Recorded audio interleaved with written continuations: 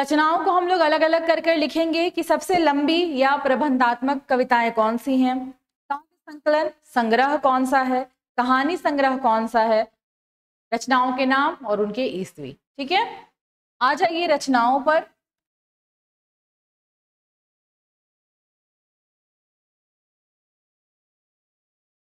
प्रमुख रचनाएँ। सूर्यकांत त्रिपाठी निराला जी की सबसे पहले हम लोग देखेंगे लंबी या प्रबंधात्मक कविताएँ। सबसे पहला क्या देखेंगे हम लोग? सबसे पहले में लिखिए, लंबी एवं प्रबंधात्मक कविताएँ। बताइए तो इसमें किस कविता का नाम आना चाहिए? अभी हमने बात की थी उस कविता के बारे में। कौन सी कविता है जिसका नाम इसमें आवश्यक रूप से आना चाहिए? आप लोग बताइए। मैंने अभी कहा कि निराला जी की लिखी हुई एक कविता है, बहुत मर्मस्पर्शी है, बहुत लंबी कविता है। कौन सी कविता है जो इसमें आएगी? नाम बताइए आप लोग, फिर मैं लिखना शुरू करूँगी।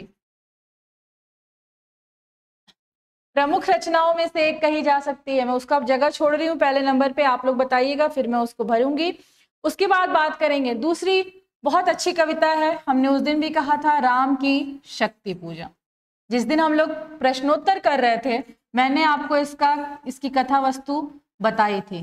क्या है राम की शक्ति पूजा? जब ये पढ़ेंगे, तब और मज़ा आएगा पढ़ने में। जी, सबसे पहली है सरोज स्मृति। सरोज स्मृति। सरोज स्मृति कहा जा सकता है कि इनकी बहुत बेहतरीन रचना है। दुख ऐसा है कि आप पढ़कर आपकी आँखों में आँसू आने ही हैं। कब की रचना है? ये 1935 की रचना है। ये 1936 की रचना है। सरोज स्मृति 1935 राम की तुल, राम की शक्ति पूजा 1936 तुलसीदास 1938 और कुकुर मुता 1942 तुलसीदास कहते हैं, तुलसीदास इनकी रचना है। 1938 की और कुकुरमुता बहुत अभी हम लोग बात कर रहे थे ना प्रगतिवाद और प्रयोगवाद की रचनाएँ, यही उसकी, ये प्रगतिवाद की रचना है, कुकुरमुत्ता। इसमें क्या खास बात है पता है आपको? इसमें पूंजीपति वर्ग किस तरह से भारत में उस समय अपने पैर जमा रहा था, कितनी तकलीफें उभर कर आ रही थी, लोग किस तरह से इन चीज़ों को समझ नहीं पा रहे थे, ये सारी चीज़ें कुकुरमुता में लिखी गई हैं। और ये दो भागों में प्रकाशित है, पहला भाग है उन्नीस सौ इकतालीस, दूसरा भाग है उन्नीस सौ बयालीस, और सबसे अंत में इसका संशोधित संस्करण आता है उन्नीस सौ अड़तालीस में। ठीक है? ये रचना है 1942 ऐसे तो उसको कंबाइन करके यही कहा जाता है। और पहला भाग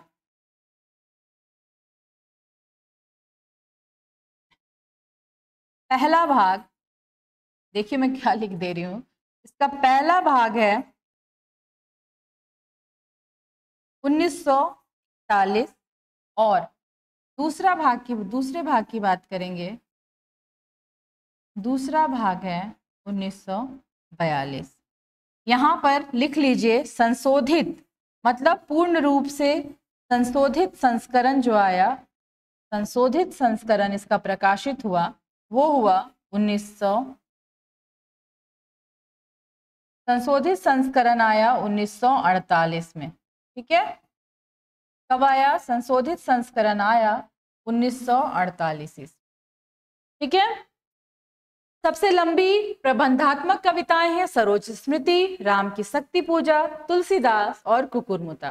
कुकुरमुता दो भाग में है, प्रथम भाग 1941 द्वितीय भाग की बात करेंगे 1942 और इसका संपूर्ण संशोधित संस्करण आया 1948 में। ये दोनों कविताएँ बहुत ज़्यादा इंपॉर्टेंट हैं। सरोज स्मृति, राम की शक्ति पूजा। पीजीटी के सिलेबस में राम की शक्ति पूजा लगी हुई है। जब हम लोग इसको पढ़ेंगे, तब आपको पता चलेगा कि क्या खास बात है बात है इन कविताओं में ये आपके सिलेबस में इसे डाला गया है। ठीक है? चलिए, आगे आते हैं इनके काव्य संकलन पर। दूसरा, लिखिए। इनके प्रमुख काव्य संकलन। संकलन मतलब संग्रह।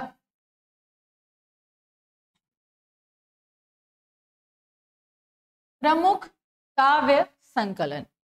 सबसे पहले अनामिका, कब की रचना है बताइए। प्रथम काव्य संकलन है अनामिका 1923 की रचना है, ठीक है? लिख लीजिए इसको कि ये प्रथम है। अनामिका 1923 प्रथम काव्य संकलन। अनामिका, इनकी लिखी कविताओं का सबसे पहला काव्य संकलन प्रकाशित हुआ था कब? 1923 ईस्वी में। इसके बाद आते हैं परिमल 1930 ईस्वी। लिखिए। दूसरा है परिमल। तिथि बिल्कुल अच्छे से लिखिएगा। वो ज़रूरी रहता है क्रम वाले प्रश्न। अभी तक हमने देखे हैं यूजीसी नेट में क्रम वाले प्रश्न आते हैं और अभी हम लोग क्वेश्चंस और देखेंगे झारखंड टीजीटी पीजीटी के, उसमें क्रम वाले क्वेश्चंस मैंने मिलान करने में, जो मिलान करने में है, उसमें देखा है ये प्रश्न तो आपको ईस्वी याद रहने चाहिए। ठीक है? इसके बाद बात करेंगे गीतिका 1936 तीसरा है, गीतिका कब की रचना है? ये है 1936 उसके बाद आ जाइए, अनीमा। अनीमा कब की रचना है? 1943 लिखिए। इसके बाद है, अनीमा ये रचना है 1943 पाँचवें नंबर पर लिखिए, नए पत्ते। क्या है रचना का नाम? नए पत्ते 1946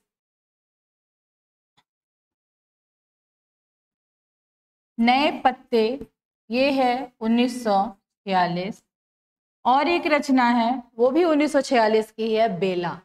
नए पत्ते और बेला। ये भी कब की है? ये भी है 1946 इसके बाद आते हैं अर्चना 1950 क्या है इसके बाद रचना है? इसके बाद रचना का नाम है अर्चना संकलन है ये। ये सारे हम लोग संकलन की बात कर रहे हैं। संकलन मतलब जिसमें बहुत सारी कविताओं का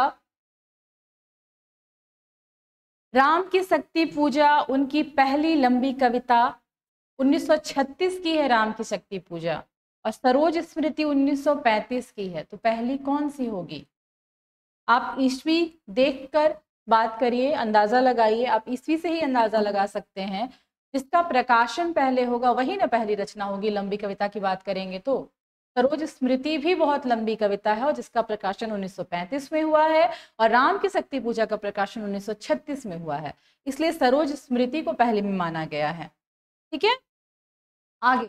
अर्चना की ये सारे मैं बता रही हूँ, संकलन आपको। इनमें बहुत सारी कविताओं का संकलन है जिसमें ये मोस्ट इंपॉर्टेंट है अनामिका। हमेशा पूछा जाता है अनामिका में संकलित कविताओं का नाम देखकर पूछ लिया जाता है कि इसमें कौन ये किस संकलन से लिया गया है, ठीक है? इसे प्रथम काव्य संग्रह कहा जाता है। अर्चना अर्चना है 1950 अर्चना है 1950 और आठवें नंबर पे है आराधना। आठवें नंबर पे है आराधना और आराधना है उन्नीस सौ तिरपन, ठीक है? आराधना है उन्नीस सौ तिरपन। इधर आगे लिख लीजिए। नौवीं रचना है इनकी, गीत कुंज, उन्नीस सौ चौवन।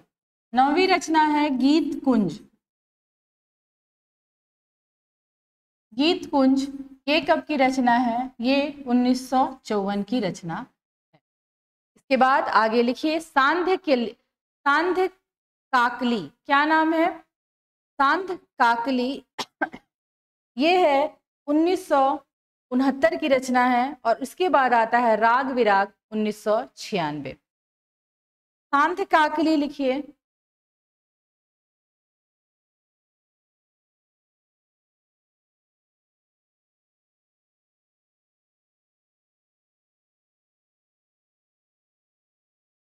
शांत काकली में एक खास बात यह है कि इसमें 69 है ये। शांत काकली में ही निराला जी की लिखी हुई सबसे अंतिम कविता संकलित है। इसको लिख लीजिए। इसमें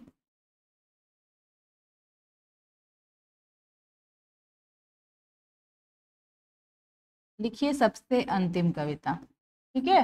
इसमें है, इसी में है। उनकी लिखी हुई सबसे अंतिम कविता और सबसे अंत में है राग, विराग।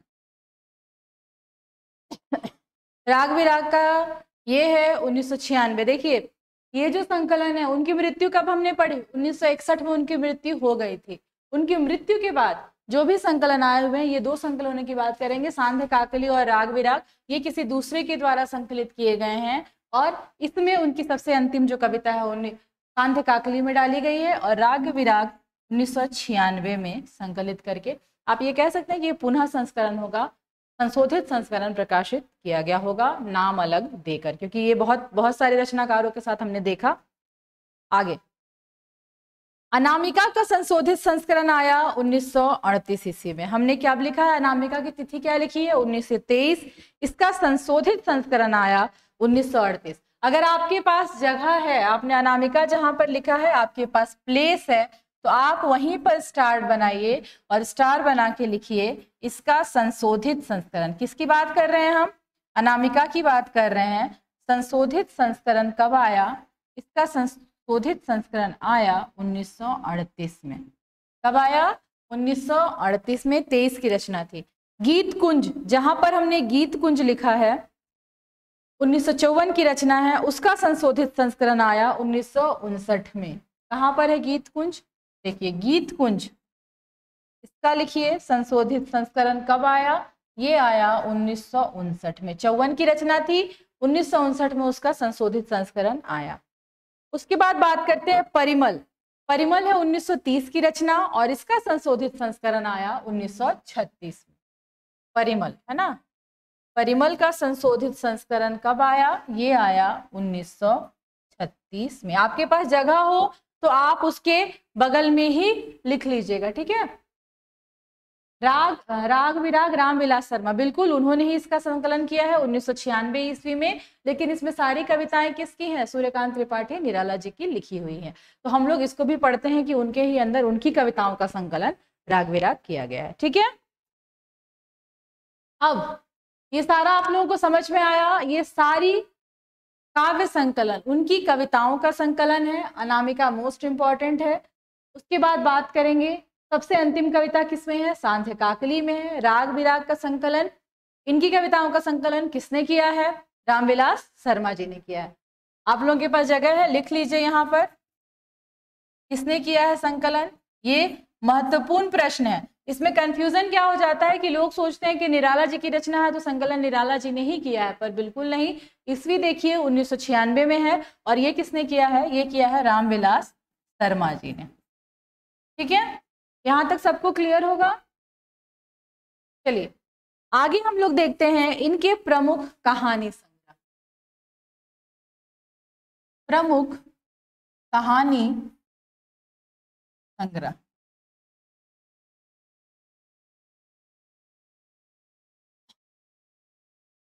इनकी सबसे इनकी कहानी है, लिखिए लिली 1933 सखी 1935 सखी को इन्होंने 1945 में चतुरी चमार के रूप में रूपांतरित कर दिया था।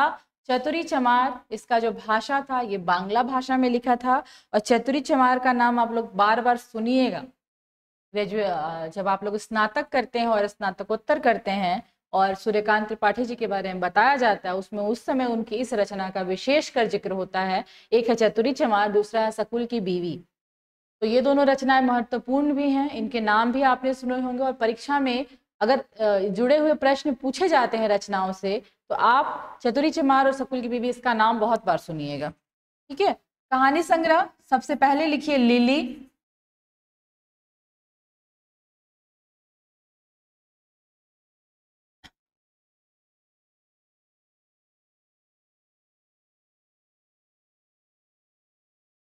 सबसे पहली कहानी संग्रह है इनका लिली, ये है 1933 ईस्वी। तब है ये है 1933 ईस्वी में है लिली का रचना, प्रकाशन वर्ष। ठीक है? इसके बाद दूसरी रचना है सखी 1935 सखी को ही किस नाम से प्रकाशित किया इन्होंने? सखी 1935 इसी को कहा गया इसका क्या नाम रखा गया? इसी को कहा गया चतुरी चमार, बांग्ला भाषा में 1945 में। ठीक है? इसी को कहा गया चतुरी चमार। भाषा कौन सी है? बांग्ला। ठीक है? 1945 में। क्या किया गया? रूपांतरित कर दिया गया। रूपांतरित किया गया। उन्होंने स्वयं किया, है ना? ये खुद निराला जी ने क्या किया? चतुरी चमार बांग्ला 1945 में इसको रूपांतरित कर दिया था। इसके बाद आते हैं 1941 की रचना है सकुल की बीवी। सुकुल की बीवी। ये रचना है 1941 की। कहानी है ये सारे, है ना? कहानियों की बात कर रहे हैं अब हम। इसके बाद आता है देवी 1948 इसके बाद आता है देवी 1948 क्रम से याद रखिएगा। क्रम से याद रखने पे क्या होगा कि आपको कभी भी गड़बड़ी नहीं होगी। ठीक है? कौन कौन से कहानी संग्रह हमने उनके देखे? लिली, सखी, सकुल की बीवी और अंत में है देवी। सबके ईस्वी हमने बगल में लिखे हुए हैं। अब इसके बाद देखते हैं इनके द्वारा लिखे गए प्रमुख उपन्यास। कौन कौन से उपन्यास इन्होंने लिखे हैं?